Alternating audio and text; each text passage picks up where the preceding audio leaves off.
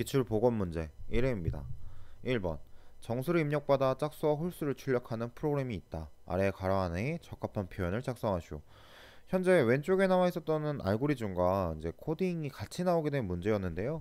이때 알고리즘과 코딩의 차이점에 관해서 물어보는 문제였었습니다. 저희가 일반적으로 짝수다 홀수다라고 하게 되는 부분을 구성을 이제 조건을 이제 물어보게 됐을 때는 어떠한 수를 이루나는 나머지가 0과 같냐라고 하는 부분으로 저희가 맞았을 땐 짝수, 아닐 때는 홀수 이렇게 이제 가게 되는데 저희가 알고리즘 상에서는 이렇게 같다라고 하는 표시를 는을 하나를 쓰지만 프로그램 코드에서는 는 하나는 대입이기 때문에 같다라고 하는 이퀄을 두 개를 쓰셔야 되거든요. 그래서 1번 문제의 답은 a라고 하는 이 변수에 대한 숫자를 2로 나눈 나머지가 0이면 짝수다. 2번에는 코딩이기 때문에 a라고 하는 변수를 2로 나눈 나머지가 뭐와 같다? 0과 같다 라고 하는 표시가 는이 두 개가, 두 개가 들어간다 라고 하는 부분이었던 거죠. 일반적으로 배수와 짝수에 대한 부분을 알고 있은 상태에서 저희가 이제 시어너와 알고리즘의 차이점에 관한 문제였었습니다. 2번 OSI 7계층 중 TCP, UDP가 속한 계층을 적으시오. 예, TCP와 UDP 같은 경우에는 둘 다 전송 계층에 속해 있습니다. 전송에 관한 부분인 거죠. 프로토콜이죠. 이때 뭐 간단히 다시 설명해 드리겠지만 TCP는 신뢰성이 있고요. UDP는 신뢰성이 부족합니다. 3번입니다. 다음 C 언어로 구현된 프로그램을 분석하여 그 실행 결과를 쓰시오. 현재 7과 7이라고 하는 x와 y에 대한 변수가 선언되어 있을 때 a 값을 구하게 된 부분인데요. 저희가 풀어서 쓰게 된다 보게 되면 전위 연산자 x와 후위 연산자 7로 볼 수 있습니다. A라고 하는 부분에는 전위 연산자는 연산이 된 후가 그리고 후위 연산자에서 연산이 되지 않은 상태에 대한 값이 들어가기 때문에 a는 지금 현재 15가 들어갈 수 있다라고 하는 부분을 알 수 있죠. 연산한 후에 x의 값은 8이 되고 y의 값은 6이 됩니다. 전위연산과 후위연산, 연산한 후에, 연산하기 전에 전 이제 진행되는 부분 증가하거나 감소한다라고 하는 부분을 꼭 확인해 주시면 좋습니다. 4번 인간의 실수가 원인으로 예상 기대각과는 다르게 소프트웨어가 예정된 설계를 벗어나 발생하는 오류를 나타내는 용어를 작성하십시오. 인간의 실수가 원인입니다. 이 부분을 저희는 휴먼 에러라고 하죠. 실제로 요즘 상식선에 대한 부분으로 많이 나오게 되는 부분입니다. 5번 다음 학생 relation의 차수와 cardinality의 개수를 구하시오. 현재 학생이라고 하는 부분 차수, 차수라고 하는 부분은 속성의 수를 의미하게 되고요. cardinality라고 하는 거 tuple의 수를 의미하게 됩니다. 마찬가지로 이제 어떤 부분이냐라고 하게 되면 행의 개수와 열의 개수인 거죠. 차수를 먼저 보시게 되면 차수의 이제 열의 개수는 자 하나, 둘, 셋, 넷, 다섯 개로 구성되어 있다라고 하는 부분을 알 수 있고요. 저희가 이제 cardinality라고 하는 부분, 기수죠. cardinality라고 하게 되는 이 부분은 어떻게 할 수 있냐면 제목행을 제외한 나머지 하나, 둘, 셋, 넷, 네 개로 구성되어 있다라고 하는 부분을 알 수 있습니다. 6번입니다. IPv4로 작성된 이 IPv4에서 사용되고 있는 비트 수를 구하시오. 정답은 32비트이죠. 한글로 쓰셔도 되고 32라고 쓰셔도 되고 32 그리고 영어로 쓰셔도 됩니다. 주관식으로 답을 쓰기 때문에 가장 적합한 단어가 답이 하나가 아닐 경우도 있습니다. 현재 보이시는 것처럼요. 주관적으로 쓰시게 돼도 사실 정답하게 된 확률이 높기 때문에 대서 문자의 구별과 이런 부분들은 크게 신경 쓰지 않으셔도 됩니다. 정확한 전달이 제일 중요하겠죠. 7번입니다. 1부터 70까지의 난수를 구합니다. 난수를 구하게 되는 라이브러리 함수라고 했죠. 1번의 답은 랜드입니다. 어, 랜드라고 하게 되는 부분도 이제 편하게 쓰시게 됐을 때 대문자로 쓰시게 돼도 크게 무방할 것 같습니다. 실제로 라이브러리 함수인 랜드는 소문자로 쓰셔야 됩니다.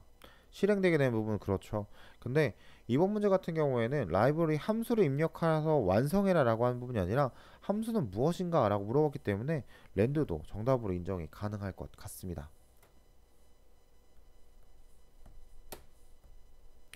8번입니다.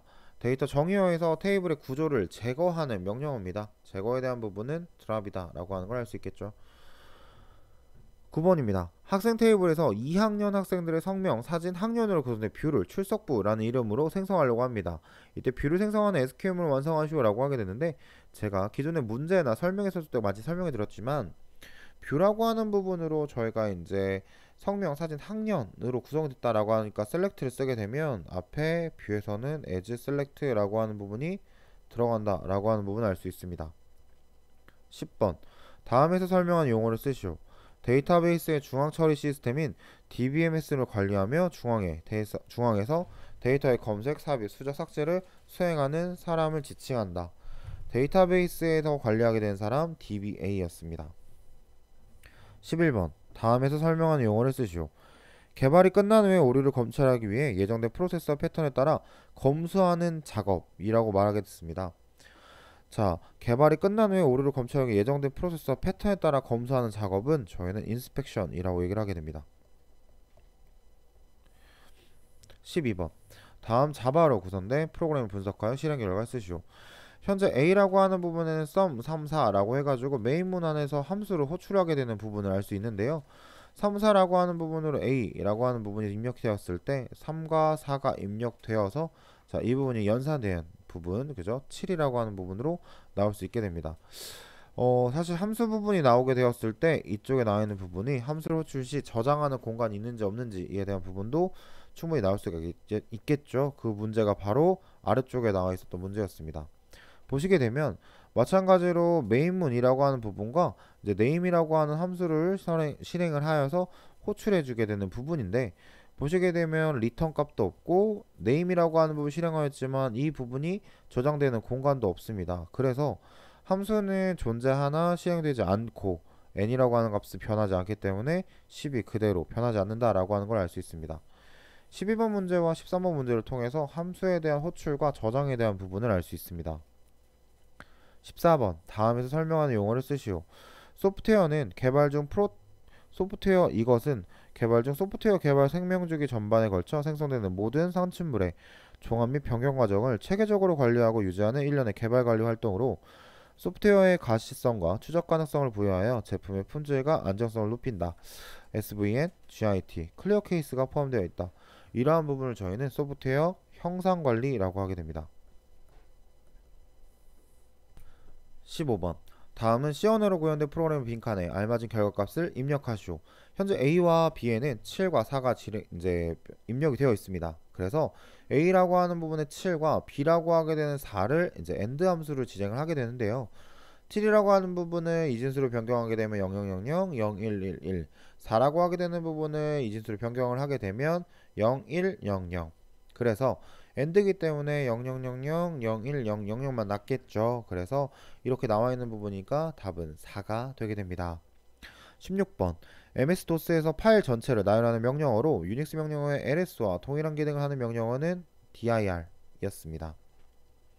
17번 set operation 집합 연산자 중에서 여러 개의 SQL 결과에 대한 합집합으로 결과의 모든 중복된 행을 하나의 행으로 만드는 연산자는 UNION이었습니다. 18번 SQL의 일종으로 데이터베이스를 제어하고 보호하며 권한 부여 및 삭제를 담당하는 데이터베이스 언어는 데이터베이스 제어 DCL이었습니다. 19번 소프트웨어 내부 소스 코드를 테스트하는 기법은 white box 테스트가 아닌 것을 모두 골라 쓰시오. 내부는 white box, 외부는 블랙 박스. 자, 이때 그럼 저희는 블랙 박스인 것을 찾으면 되겠네요. 자, 제어 흐름 분기 테스트 여기서 한계값 분석 그리고 비교 테스트 이 두 부분은 블랙 박스 테스트였습니다. 실제로 이 부분을 이렇게 작성해 주시면 되겠죠. 20번입니다. 윈도우 10 프로의 이것은 128비트 키의 CBC 모드에서 AES 암호 알고리즘을 사용하여 데이터를 보호합니다. 때문에 외장하드를 분실하거나 도난당하더라도 데이터 손실을 최소화합니다. 이 부분을 저희는 비트로커라고 얘기를 하게 됩니다.